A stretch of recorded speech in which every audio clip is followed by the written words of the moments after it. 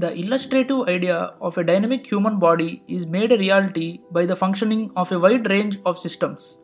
There is a perfect coordination between the various systems of the body to keep us running. It is equally important to have a special system to defend the body against the infections of the world. The result of such an arrangement is the complex immune system of the body. An important process pertaining to the defense mechanisms of the body is phagocytosis. Phagocytosis is the procedure by which microbes or foreign substances are killed and engulfed by special phagocytic cells. These cells follow the mechanism of endocytosis to engulf and digest foreign particles. The immune system of our body is dependent on the presence of several types of cells called white blood cells or leukocytes. The white blood cells in the blood of a normal human approximate to a range of 4000 to 11000 per cubic millimeter. The numbers may fluctuate in antigen attack. Leukocytes are of broadly two classes, namely granulocytes and agranulocytes. Granulocytes include neutrophils, basophils, and eosinophils, while agranulocytes include lymphocytes and monocytes. Out of this, neutrophils and monocytes are actively phagocytic cells. Neutrophils are known to be the first line of defense against bacterial infections. They contain granules capable of bacterial and antimicrobial functions. Monocytes contain hydrolytic enzymes and function as the second line of defense. Macrophages function similar to that of monocytes. Now let us explore the five steps of phagocytosis. Chemotaxis with the entry of foreign organisms into the body, some chemicals called chemoattractants or chemotaxins are generated by the inflammatory cells or the invading organisms. Complement proteins like C5a and C3 can also act as these chemicals. Chemotaxins attract the neutrophils towards the damaged site. The migration of neutrophils to the site of infection is termed as chemotaxis. With the beginning of chemotaxis, leukopoiesis is also stimulated in the bone marrow for the production of more white blood cells. Diapedesis The attraction from chemotaxins stimulates the neutrophils to make their way through the capillary endothelial cells to the site of inflammation. This process is termed as diapedesis.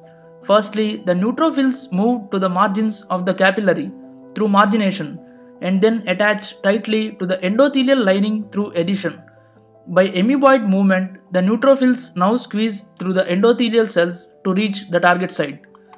Opsonization and adherence. The antigens are now coated with special chemicals that make them more tasty to the phagocytic cells. These chemicals are called opsonins and the process is called opsonization.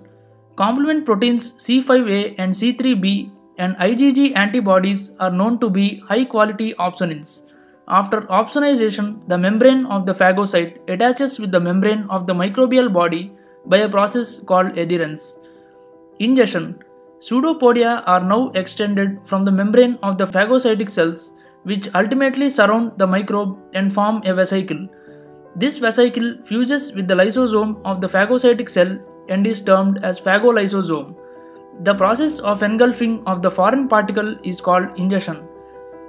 Killing The killing of the engulfed bacteria occurs through two mechanisms, namely oxidative killing and non oxidative killing.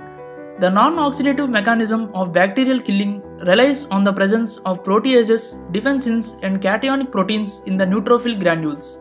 Lysozyme hydrolyzes the cell wall of bacteria. Lactoferrin sequesters iron that is required for bacterial growth. Alpha and beta defensins, on the other hand, disrupt the outer membrane of bacteria and destroy the single strand DNA structure.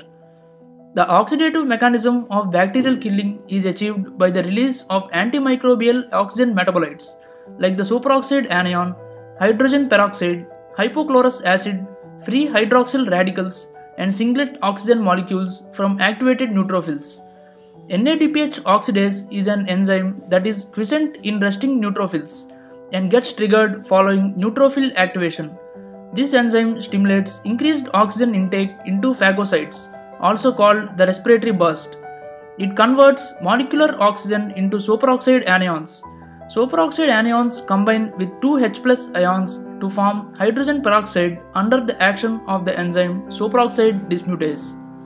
By this whole mechanism, two oxidants, namely superoxide anion and hydrogen peroxide, have been generated.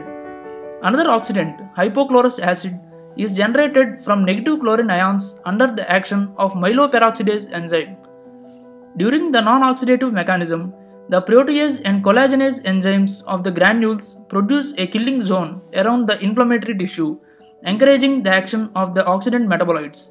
Sometimes this coordination becomes detrimental, leading to damage of more host tissue in conditions like rheumatoid arthritis. The applied aspects of phagocytosis revolve around the movement of phagocytic cells the activation of neutrophil increases cytosolic calcium concentration which leads to contraction of the components of the cytoskeleton, increasing amoeboid movement of neutrophils. Phagocytic activity is decreased in conditions like neutrophil hypomotility. With this, we come to an end of our topic. Thank you for your patient listening. Please like, share and subscribe the channel for more interesting content.